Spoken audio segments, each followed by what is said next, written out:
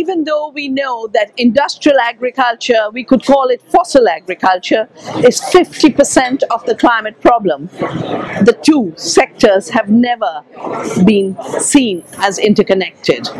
And now there's a deliberate attempt to keep ecological solutions out of the climate discussion, a deliberate attempt to keep the roots of climate change in industrial farming, globalized food systems, because the very corporations that have given us half the climate problem want to steal the climate negotiations to expand their markets for GMOs, to expand their markets for fertilizers, to expand, expand their control over agriculture through one agriculture in which Mr. Bill Gates and the five chemical corporations that were war corporations, that were then agrochemical corporations, then became biotech industry, control all of farming.